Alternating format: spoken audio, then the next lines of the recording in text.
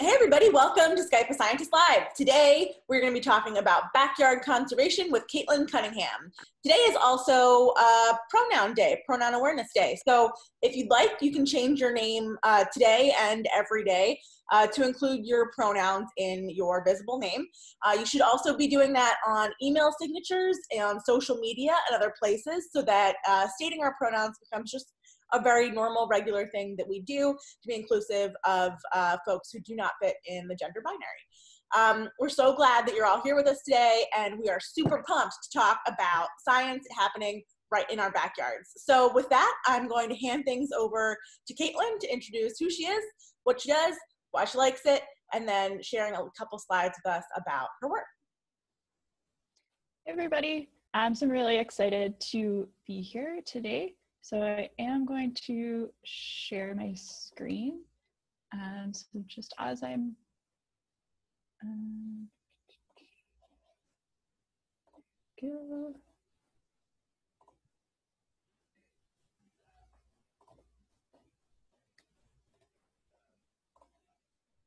Okay, can you all see my screen now? Yeah, looks great. Okay, cool. Um, so first I want you to think about what do you hear when you hear the word city? What, what kind of images come to your mind? Now, what about if you hear the word conservation? What sort of things do you start to think about? So you probably thought of really different things with cities being full of concrete and cars and space for people and conservation really being about filled with plants and animals. But cities are also full of biodiversity. There's lots of plants and animals in the city and a lot of them are really cool and sometimes unique. And we also need to start thinking about those. Uh, so we also start need to start thinking about cities um, as part of our conservation strategies. And there's a lot of different places that we can find nature throughout the city. Um, sometimes on the outskirts of cities, you might find places that'll look a little bit like what you probably thought of when you heard conservation. So I live in a city that is surrounded naturally by forests and lakes. So we have a lot of that on the outskirts of the city. And also inside of the cities, um, there's places where we put nature on purpose, like gardens, and then there's also the spaces that we don't always think about when we think of nature in the cities, like cemeteries, or even our own front and backyards. So in my research, I think about all of these different places and how they can work together to better support nature throughout the cities. Um, and so my core research question is how do we better design cities to support nature? And a lot of what I think about in this space is how do all of these different spaces work together and how well connected are there are they? Um, so i work a lot of the times to measure what we call connectivity which tells us how easy it is for animals to move across a landscape and access different pieces of their habitat. So you can kind of think about it as planning wildlife transit networks in cities. So just like how people will use transit to move around the city to get between where we live work, and play, animals also need to be able to move around um, to access where they find food, mates, and different habitat needs at different times of the year. Now, if we think about a city, there's oftentimes really large parks um, or pieces of um, natural woodland near the city. And those are usually what we start to think about um, when we think about connectivity, but we also need to think about how they're connected. And sometimes there are corridors of habitat that are left alone that connect these habitats, which is great, uh, but that's pretty rare. Most of the time, what's in between uh, these larger parks is residential neighborhoods, and a lot of the green space that's in between them are our own backyards and front lawns, which can be up to 80% of the green space in a, in a given city. So even though these spaces are small, they can add up really fast, especially if there's a lot of them. And it also kind of helps us in the city. And it also is what makes this research so interesting and so unique is that you have to talk to people and you have to figure out how they're going to use their space to get something that they like because it is your habitat, but also thinking about how we can share our habitat with other animals. Um, so that was just a really quick, uh, stop sharing. Um, so that was just a really quick introduction to what my research is. Um, and I'm currently working on that at Dalhousie University. That was a quick and quick version of what I'm doing. Awesome. Thank you so much for that. Uh, so, for everybody in our audience, if you have any questions about uh, what you just heard or, or, just questions in general for Caitlin, please submit them um, down below in the Q&A. Uh, and so my first question is, um, so let's say you have never really gone out in your backyard looking for nature before. Maybe you've seen a bird or a squirrel here and there.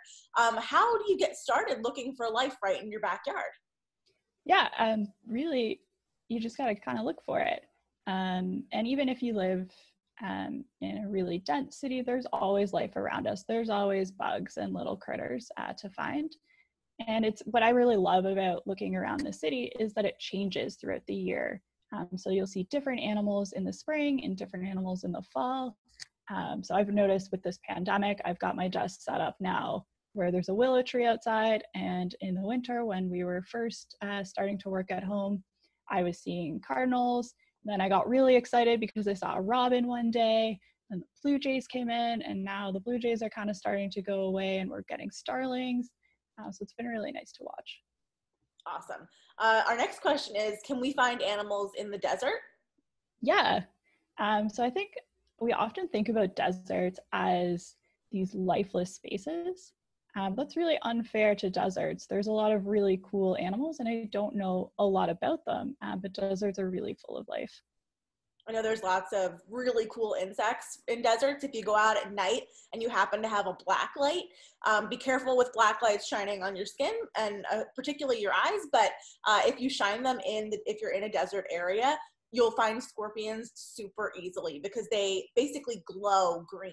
And so I know when I was traveling through Texas and New Mexico and Arizona last fall. I mean, I brought my black light out every time I went out at night, and they were everywhere. It was so easy to find them, and they were really uh, super, super cool. And also, uh, it made me feel better to be able to see the scorpions so that I wouldn't accidentally step on one and one wouldn't startle me.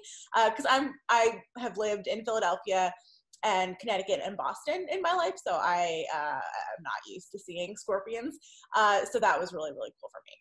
Um, there's also a lot of lizards in the desert, and so I love lizards, so that's super exciting for me. Yeah, that's um, one thing that I miss about living in the Maritimes. Not yeah, a lot of lizards sure. Lizards. Uh, all right, the next question's from Gavin. Are lawnmowers a threat to animals in our backyard?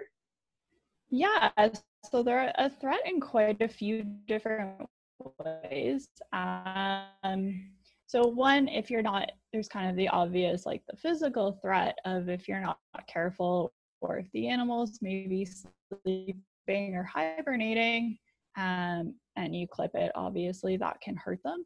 And mow our lawns, it takes away a lot of habitat. So when we keep our lawns really short, um, there's not a lot of things that can use it uh, to hide or to find food. Um, so the longer we can let our lawns grow and the more weeds we can let in and the more flowering plants, uh, the more habitat they provide. Awesome. Um, so that sort of relates to our question from Ruby and Thomas. How can we encourage more wildlife in our backyard? So you've already suggested um, not mowing your lawn, uh, letting native plants grow. Is there anything else that we can do? Yeah. Um, so for anybody who's listening on the call, if you're in Canada, I highly recommend checking out the Canadian Wildlife Federation's um, Backyard Habitat Certification Program. And the National Wildlife Federation in the United States has a really similar program and they give you lots of tips and tricks about um, how to promote local wildlife in your area. And usually there's three key things that you want to start to look for to provide. You want to provide animals with a food source, a water source, and some kind of shelter. So that food can be things like maybe a plant that produces berries um, or a flowering plant that will have nectar for bees. And for water, sometimes, you know, you might be really lucky and you have a little pond in your backyard or you're on a stream, uh, but not all of us have that. I definitely don't. Um, so you can have a bird bath and, and you can provide water that way. And shelter, that can be a, look a lot of different ways. Um, so you can have little shrubs where birds can kind of hide out in that, um, which is what I have. Um, yeah, you could build a bird box if you really wanted to build one for yourself. Lots of different ways. Awesome. Um, Caitlin, your internet connection isn't super great. So I know that this is kind of a bummer, but do you think you might want to um, like turn off your video so that all the bandwidth can go to hearing you because your voice is breaking up a little bit? Okay. Yeah, sorry about that. Oh, I totally understand. Everybody's having a similar problem. All right, the next question is uh, Mark, grade six, wants to know how you track the movement of animals uh, through the terrain. Yeah, so some scientists will um, put trackers on their animals. Um, so sometimes you'll see it's like a collar around the animals, um, or you can have a little tag on them. Um, but what I do is I look more at the landscapes and sort of do more predictive modeling. Um, so I use what's called circuit theory. So we borrow um, theory from electric current theory, um, where we start to think about our landscapes as a resistance surface. So I kind of have to think about, um, say I'm looking at a fox, I kind of have to put on my fox goggles and think, okay, if I'm a fox, what's really easy for me to move through uh, what's a really easy landscape for me to move through. I like forests, um, so that's going to be really easy, a really low resistance. I'm okay moving through a golf course. I don't really want to, but I will. Um, so that'll be kind of a medium. And I don't like dense, dense parts of the city where there's lots of people, lots of houses. So that's going to be really high resistance. And then I'll try and move that a current through the landscape. So I'll start it on one side and have it go towards the other. And just like how electricity will move um, across a surface, we can make electricity move through this landscape.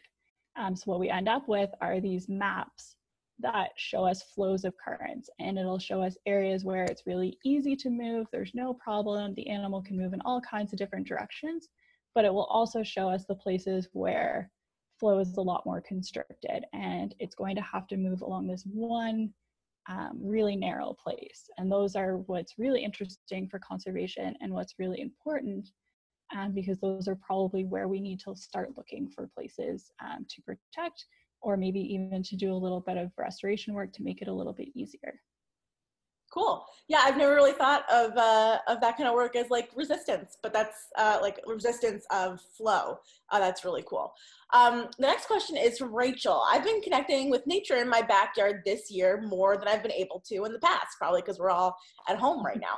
Um, we're making plans to plant milkweed to encourage the monarch butterfly population. I live in Western Massachusetts. Is there anything else in my area that I can uh, plant to help my local wildlife? Ooh, so I'm not super familiar with that area. Um, so I would look into the backyard habitat um, certification program. Even if you don't go through with the certification, um, they will point you towards all of those local resources. Um, and if you have a local like naturalist community or like um, biologist, uh, plant folks, um, they would be able to have the resources. It's definitely always good to connect with those people. Um, but milkweed is always a really good place to start in North America. Awesome. The next question is from Josie. Uh, what do you do if you find a snake in your backyard? Uh, well, it really depends. Um, if you're not scared and you're okay with it, um, just watch it, see what it does, um, see how it moves through your landscape, um, see if it's feeding, if it's looking for food, if it's looking for cover, um, just see what it does.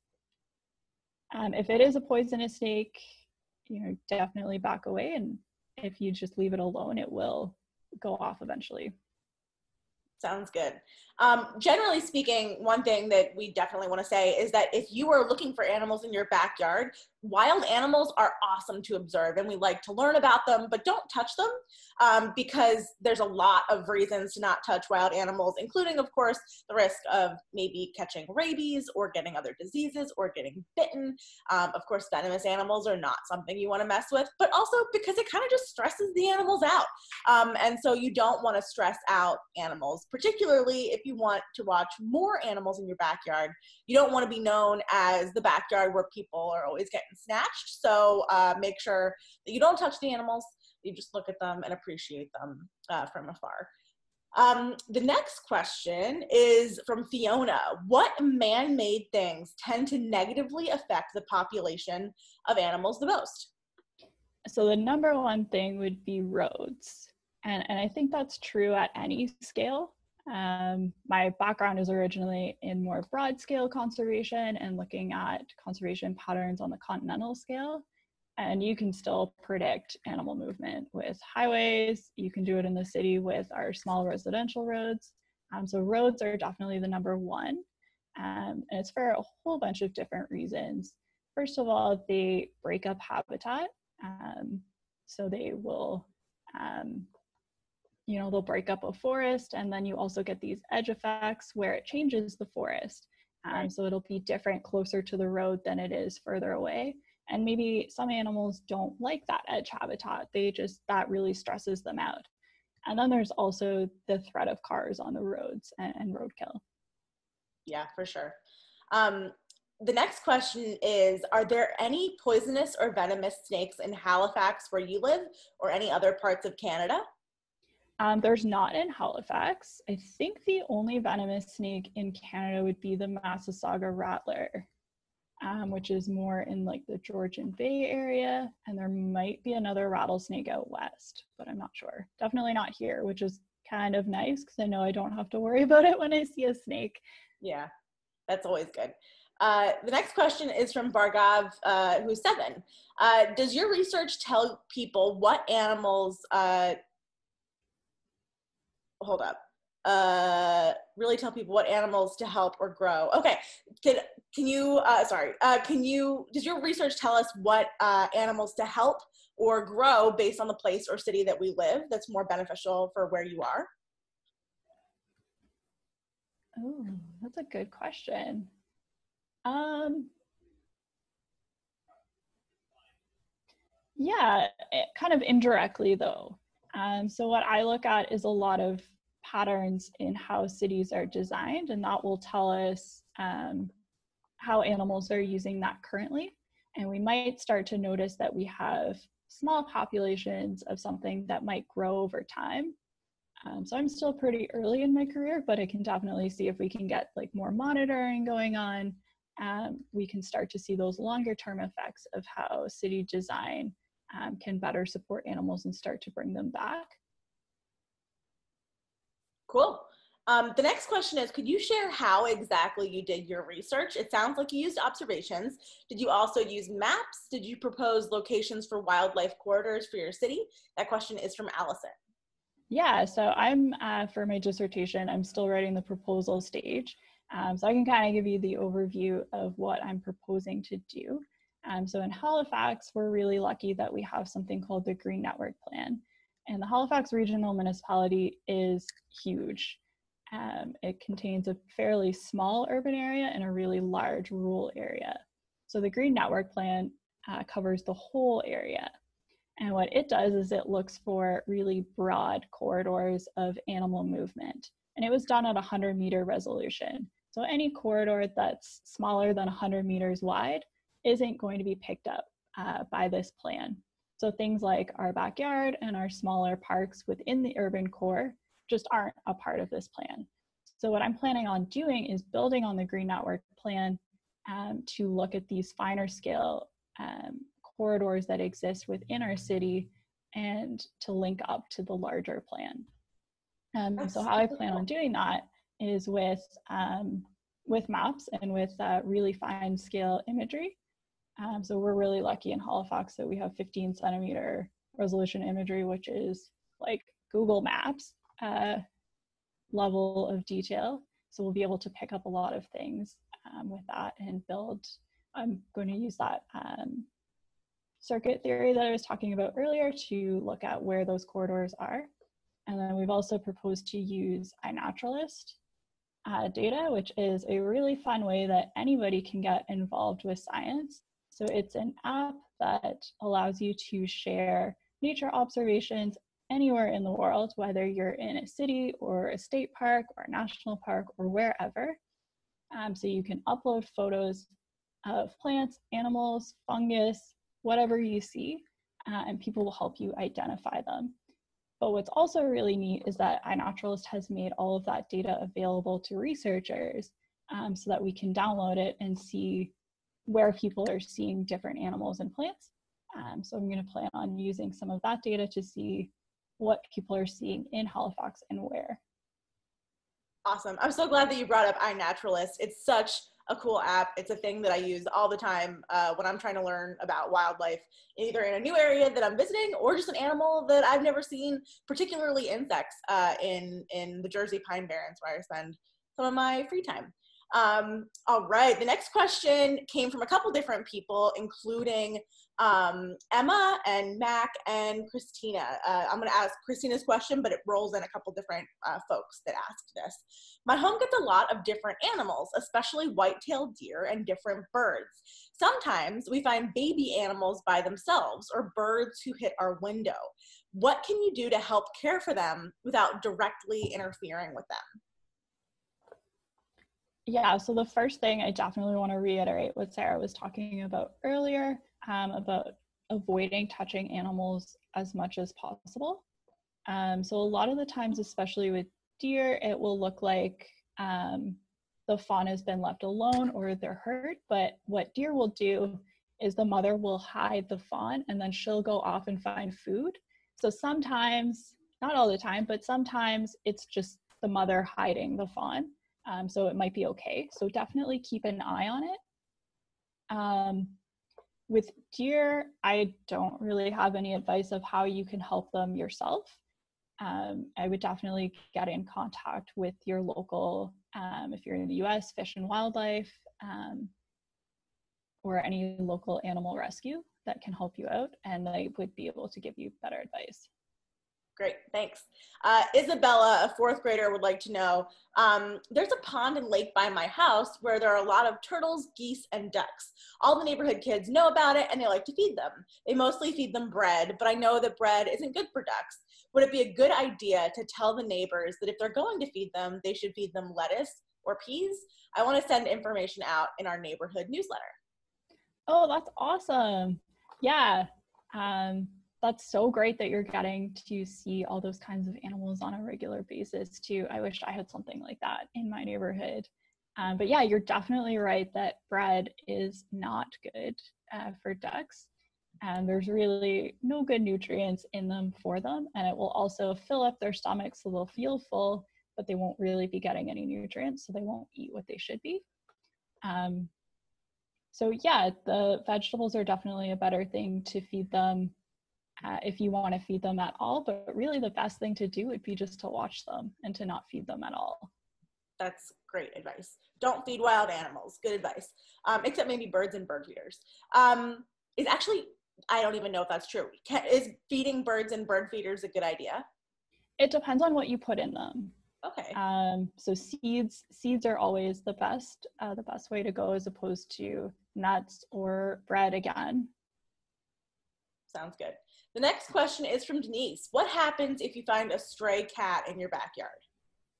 Oh, I think it froze. Can you hear us?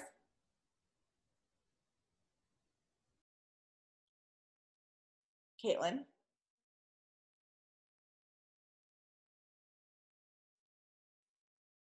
Caitlin, are you there? Uh-oh.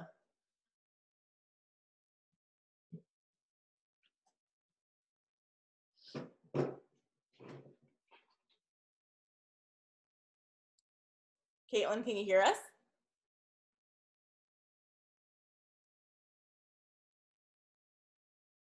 Uh-oh, everybody. I think we may or may not have lost Caitlin.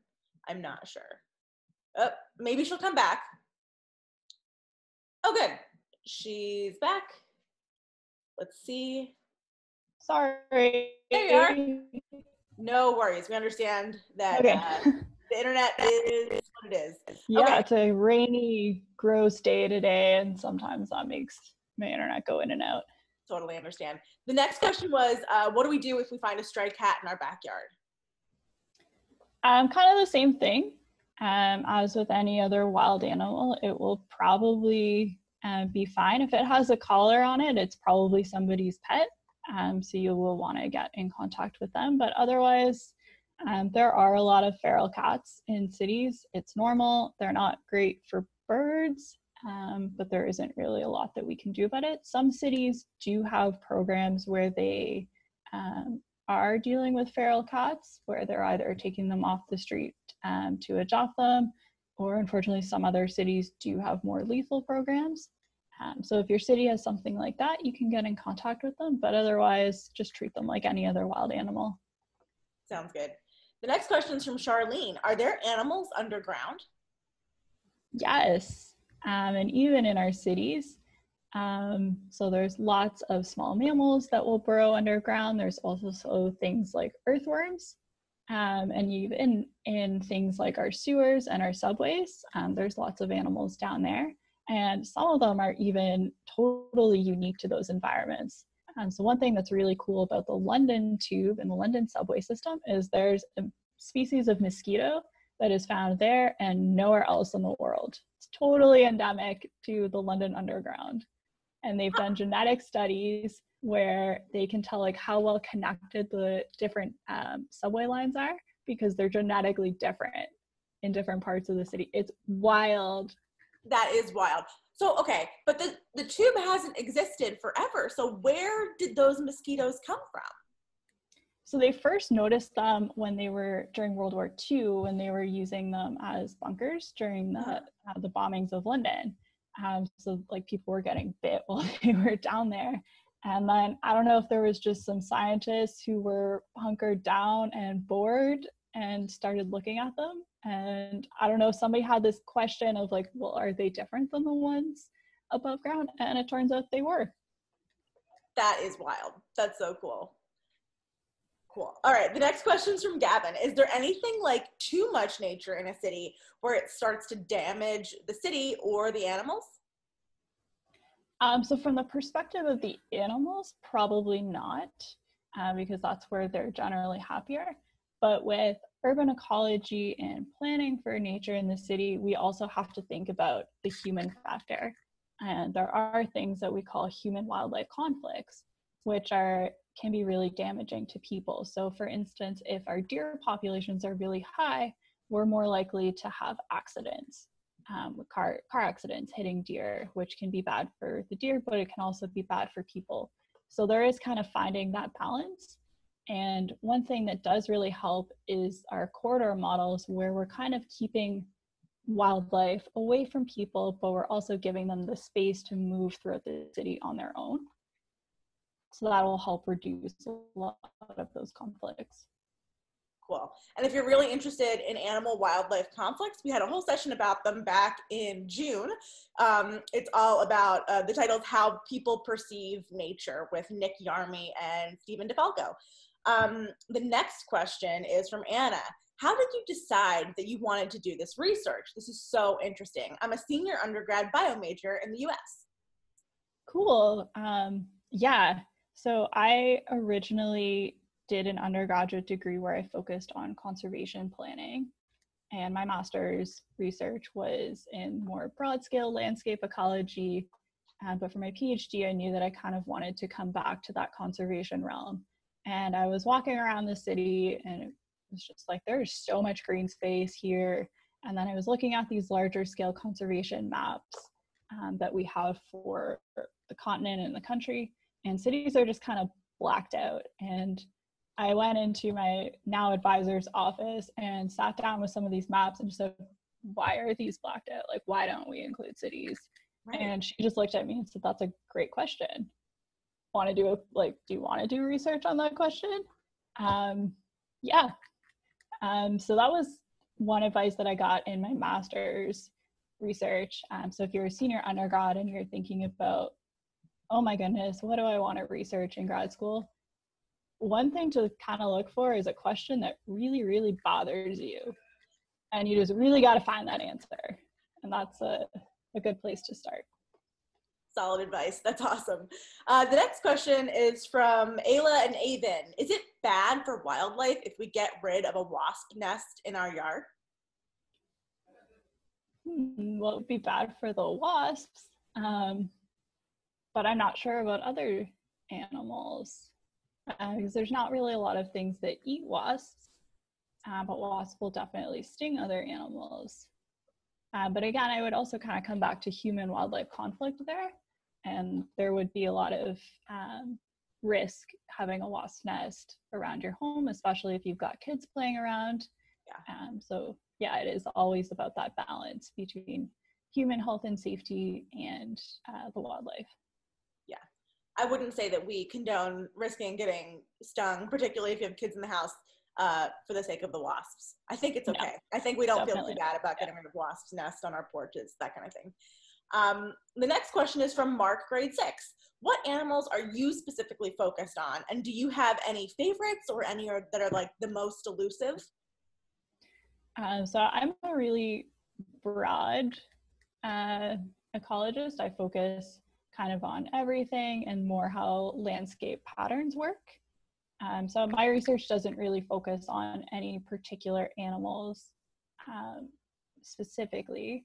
In terms of what's my favorite and what's the most elusive, I actually saw one for the first time last night um, since moving to Halifax, and that was a red fox. I've lived here for six years, haven't seen one in the city yet, uh, but I was waiting for a bus last night, and one was like kind of wandering by the bus stop. I got really excited. Fortunately, I didn't have my phone on me, so it wasn't on iNaturalist, but next time. Foxes are super cute. I get super excited when I see foxes too. Um, the next question is from Mackenzie in grade six. Uh, Mackenzie's interested in hummingbirds specifically. What are some things you can do or definitely shouldn't do to attract and support hummingbirds and their migration patterns? That's a great question. Um, so you'll, I'm not sure which hummingbirds you have around you, right. but you can do a little bit of research and see what kind of flowers they really like. Um, so you can try and plant some of those. Um, but with hummingbirds, you can also put out like a nectar feeder um, with some sugar water, and that will help them as well. One thing that I know about hummingbirds uh, in terms of having them in your backyard, it's super important to keep those hummingbird feeders clean. You need to be replacing that, that sugar water in the feeder uh, probably more often than you might anticipate because uh, fungus can start growing in those feeders and then um, it makes the hummingbird sick. So if you are going to put a hummingbird uh, sugar water feeder out, that's awesome, but be vigilant and keep it super clean. Um, the next question is from Ian, also in grade six. Ian is an avid birder. He's looking for more ideas on tracking birds in particular. So how do you get close and monitor bird movement? Oh, that's a good question. I love hearing from young birders. You always think about the birder as being like somebody really old, but uh, it's really nice that it's for everybody. Um, in terms of getting closer to birds, yeah, it can be really difficult. Um, sometimes the birds in the city are actually, because they're around people their whole lives, um, it can be easier to get closer to them. Um, so you can try looking at the birds in your neighborhood Cool. Yeah, again, just kind of trying to let the birds do their own thing. And if you just sit there for a little while, it might come closer to you. Cool. Um, I know that there are some like itty bitty little trackers that they put on birds, and often um, they put what's called a band on a bird. And so that band doesn't really track them per se, but when different bird scientists catch them, they mark down, oh, this is bird number 935 or whatever. Um, and so that's how they can kind of keep track of where they've been. Um, and also, even like check year to year where the bird has been, which birds come back to certain areas, and that kind of thing. Um, the next question is from Talon. Talon wants to know if it's safe to go deep into the woods or will that hurt the animals? Um, so definitely ask your adults and maybe make sure that you have either an adult with you or that somebody knows um, where you are. Um, but really, it's not necessarily going to be harmful for the animals, but you do have to remember that you're in their home. So just like how we manage wildlife, human wildlife conflicts in cities, we tend to take the side of the city or of the people. Right. When we're in the woods, we need to remember that we're in their home. So you want to be respectful and not doing a lot of damage to the environment. And if you have a snack with you, make sure that you're taking your garbage with you. Um, Solid advice. So generally speaking, going to the woods is pretty safe for the animals, but make sure it's safe for you as well. Um, the next question is from Ruby and Thomas. Uh, how do we make a bat friendly habitat in our yard? Oh, that's a good question. And, and it's super important. Oh, there's Erin. Erin's um, Yeah. um, so it's, yeah, bats are super important and they're, um, a lot of their populations are declining or they're endangered um, throughout North America and the world. Um, so yeah, making our um, our backyards more friendly to bats is super important and a great idea. Um, so you can look into building bat boxes. And so if you just Google it, there's lots of different instructions online, and that will give them a safe place to to roost or to to lay out for the night. Awesome. The next question is, what's your favorite animal? Ooh, red fox, definitely. Red fox?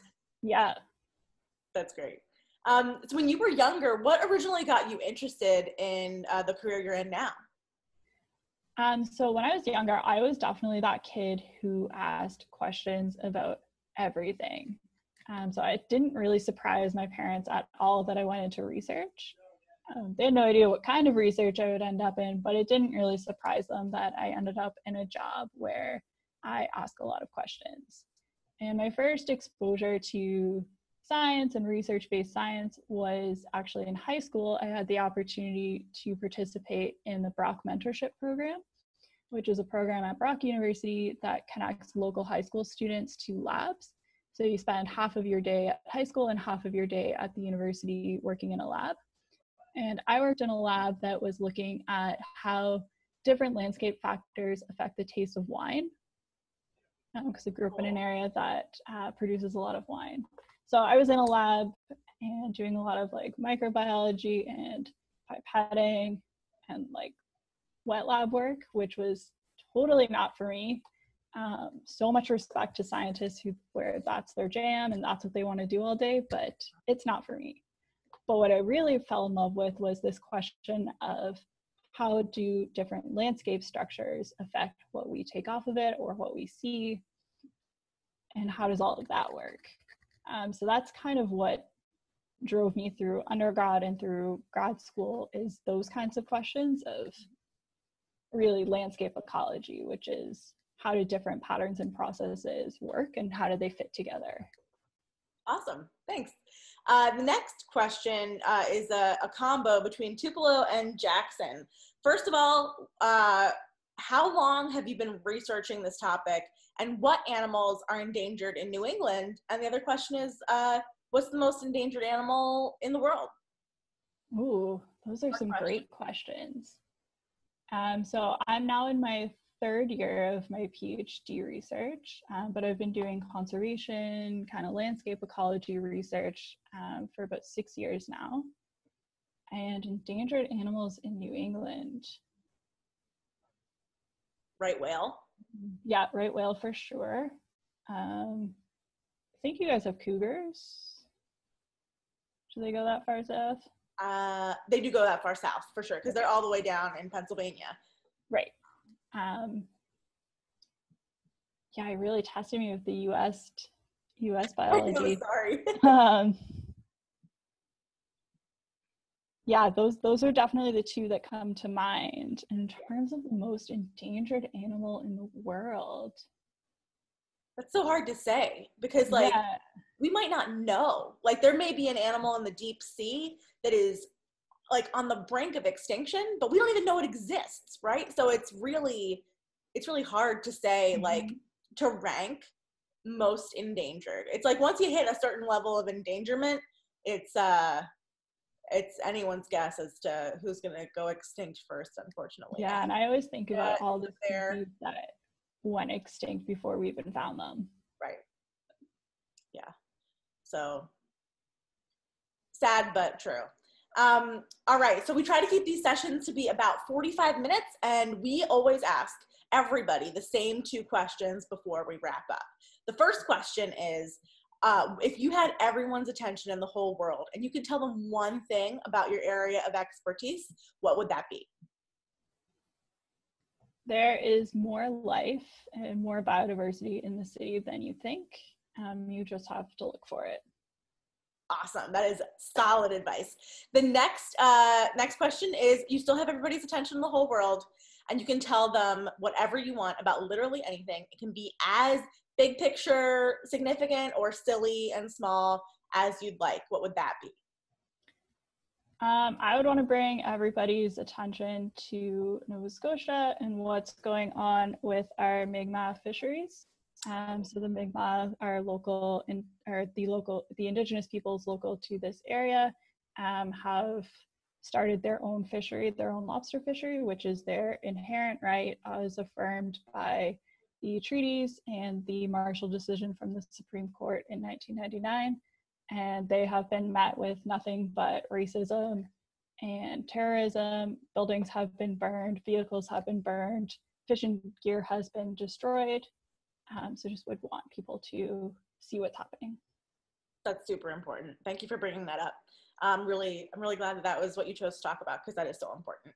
Um, all right, thank you so much for being with us today. Um, is there anything uh, that you'd like to plug, anywhere that we can find you on social media, anything like that? Um, so I am on Twitter. Uh, so it's Kate with the C L of Cunningham is my handle. Great. Awesome. Well, thank you for taking the time to talk to us today. We've learned so much. I really, really appreciate it. Thanks for coming back visually. Um, Erin, thank Second you. wave. For, yeah, exactly. Uh, Erin, thank you for signing for us as always. Uh, we will see you back here next week. The next session that we'll be having will be on the 28th of October. That's Wednesday at 1 p.m. It's going to be all about lakes. So get all of your freshwater questions ready to go. We will see you on next Wednesday. Uh, thanks again, Caitlin. Thanks again, Erin. And thank you all for joining us today. Bye. Bye.